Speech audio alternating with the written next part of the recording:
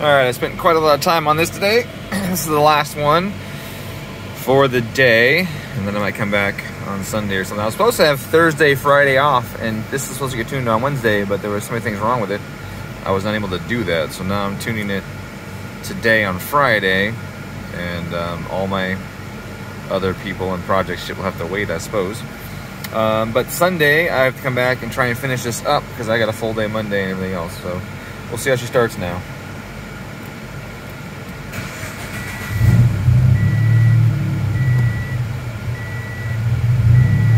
Little better, just a little, little bobble there.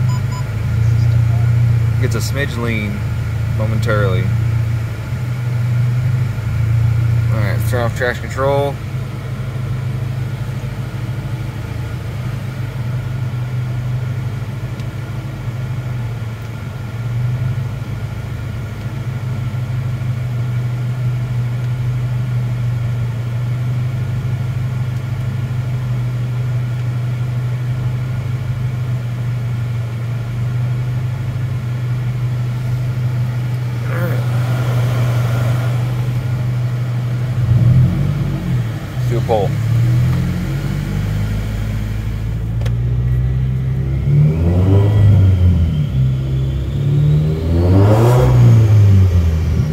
It's running a lot better though, that's for sure.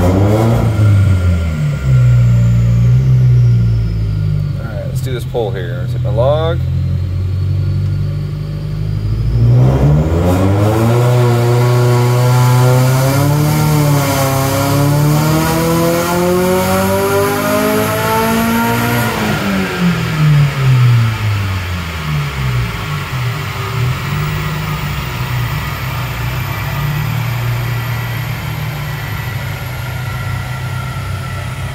Alright, that was a lot better. The fuel was better. Let me get rid of all the maps on here and bring in just that one.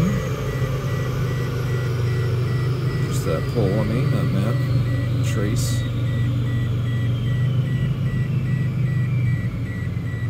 Hey, there we go. Look at the fuel, much better. A little richer.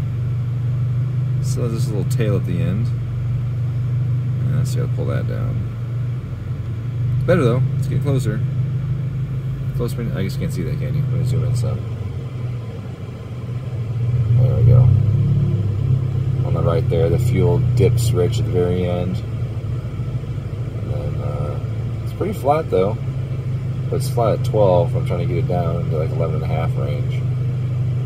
So, pretty good. That's pretty good.